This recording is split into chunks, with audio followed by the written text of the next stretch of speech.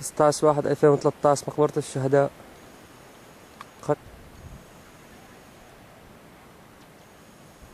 الرحمة على شهدائنا